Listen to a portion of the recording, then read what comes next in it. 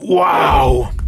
Okay, so $800 is quite a lot of money. I've been getting a lot of questions over the past couple days uh, asking me if I find that it's worth it or not, or what are my thoughts. So I'm going to make this quick update for you guys to let you know what I think and to uh, disappoint you guys that are asking the question on if I think that it is worth it.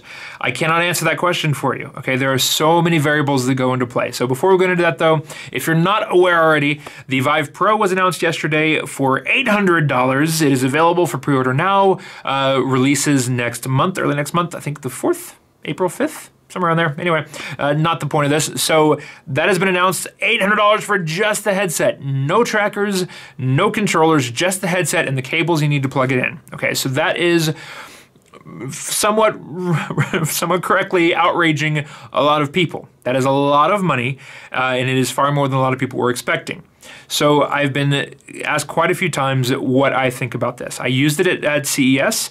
Uh, I had maybe a total of like 20 minutes with the headset total and these were kind of like rushed experiences. So i don't have a like a huge amount of experience with it but i did try it. And so i do i can definitely attest to the quality improvement as it is. However the question on if i think that that price is worth it that is not a one size fits all question right? Like for me personally I think it's worth it. For me, for me to buy it.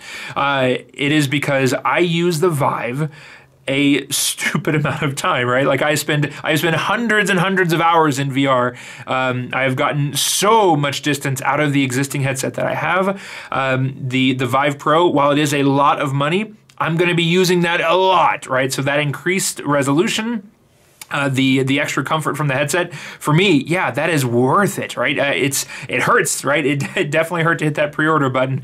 Uh, but at the end of the day yeah for me it's worth it. But for for somebody else if you're only using it once or twice a week I don't know. Like I can't answer that question. There's so many things that go into it. Uh, is the Vive currently comfortable enough for you? Do you have any issues with the current ability to read text like right now and probably for the next year I don't see any like titles that are going to come out for the Vive Pro that you cannot use on the Vive 1.0, right? Like, I don't think that they're going to be making a whole lot of apps that are going to need that really high increased resolution for you to play it. So, do you need the Pro?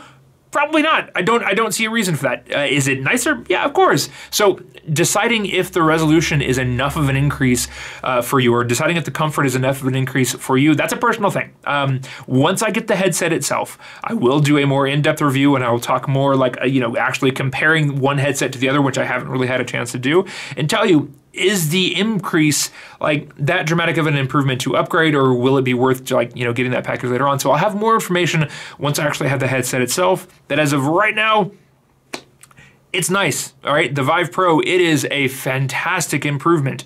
Uh, the resolution, it is so, so much sharper. It feels so much better. The reduction of the screen door effect is, is so much nicer. The the weight, the distribution of the weight, the, the lack of weight, like there are so many things that are like really, really positives for this with the massive glaring negative of the price itself. So I wish that I could tell you if it's worth it for you. Uh, I can tell you that I like it uh, and I will be like anxiously waiting for it. As soon as I can get it, I will let you guys know more more. But until that time comes, I can't really help. I'm sorry. All right, that is the end of this short little vlog type thing though, guys. I will see you all in the next video. If you like it, hit the like button. Let me know if you want to see more of these vlogs. If you don't, just hit the downvote button and tell me, tribal, shut up. I want to see some games.